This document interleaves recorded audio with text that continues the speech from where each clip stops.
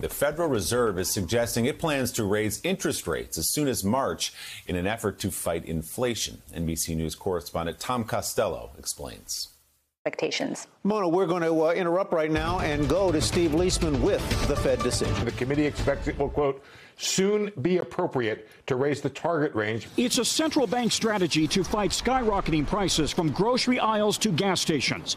The Federal Reserve suggesting it will soon start slowly raising interest rates. I think there's quite a bit of room to raise interest rates without threatening the labor market. Analysts believe the Fed will raise rates gradually in quarter point steps beginning in March.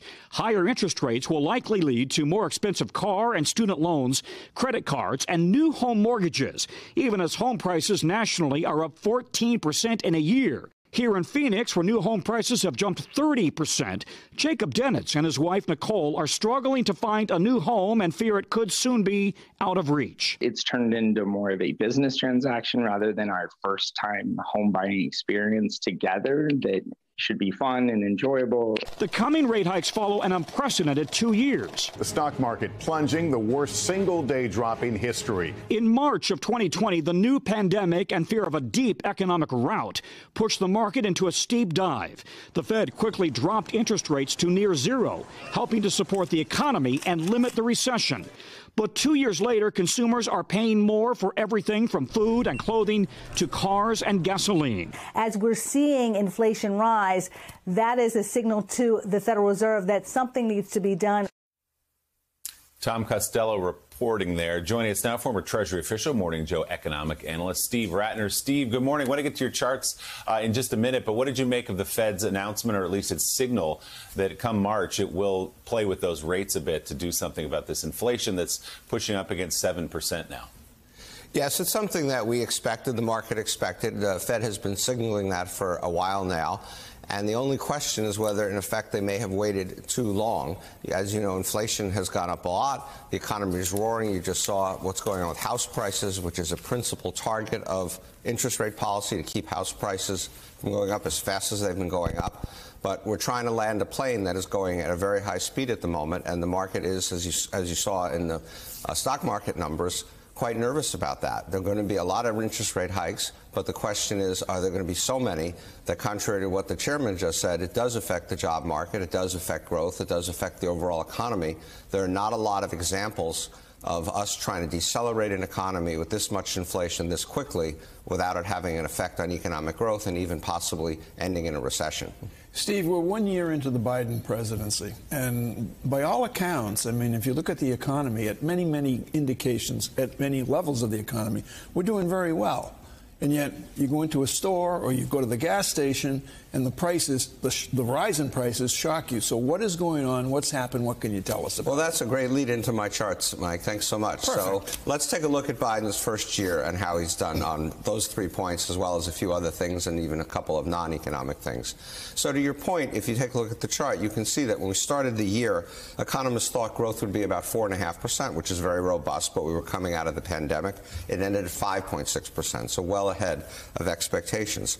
Unemployment, we thought, would be over 5% at, uh, at the end of the year. It ended at 3.9%. So great overperformance on growth and on unemployment. But as you suggested, and as we all well know, inflation hit the highest level in 30 years, up 6.7%. That's the turquoise bar, obviously, compared to expectations of 2.2. So we got the inflation completely wrong. So, two questions for you. One, how does a quarter point raise in the, in the, interest rates, as they indicated they might do, how does that tamp down inflation? And B, the big question you might not be able to answer, even you might not be able to answer this.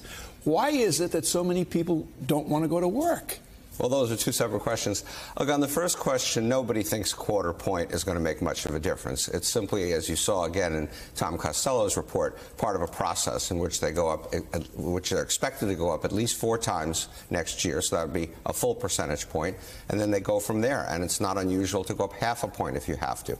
There, there's a lot of division among economists about where interest rates are going, but some predict they're going to go up. They have to go up an awful lot uh, to slow this economy down. And to your second question about why people don't want to go back to work, I think there are really three reasons. Complicated questions, no one answer.